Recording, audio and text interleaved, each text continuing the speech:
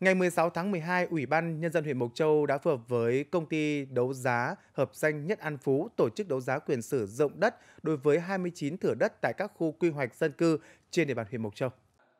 29 thửa đất được đấu giá trong đợt này có 3 thửa thuộc khu đất khu dân cư đường Bản Áng 3 xã Đông Sang, 18 thửa thuộc khu đất ở hai bên tuyến đường quốc lộ 6 đi quốc lộ 43 phía sau khách sạn Mường Thanh, thị trấn Nông Trường Mộc Châu, 8 thửa thuộc khu trung tâm hành chính tiểu khu 14 thị trấn Mộc Châu.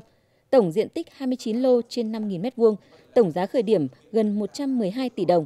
Tham gia phiên đấu giá có 28 hồ sơ khách hàng đủ điều kiện.